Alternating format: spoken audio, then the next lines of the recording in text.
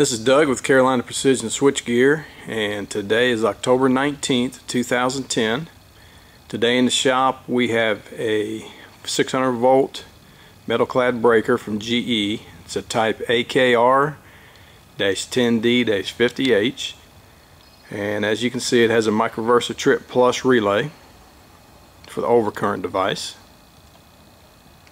And this breaker was brought to us by Critical Environment Support it was doing nuisance tripping on a no-load bus. We've done the full testing on it, operated with the with our uh, electrical test set to test the uh, charging motor, trip coil, and closed coil.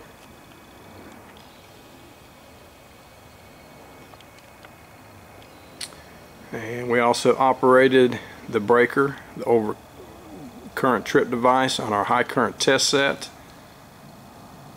We've been given a full go-ahead to do a complete refurbishment on the breaker and to upgrade with an AC Pro relay.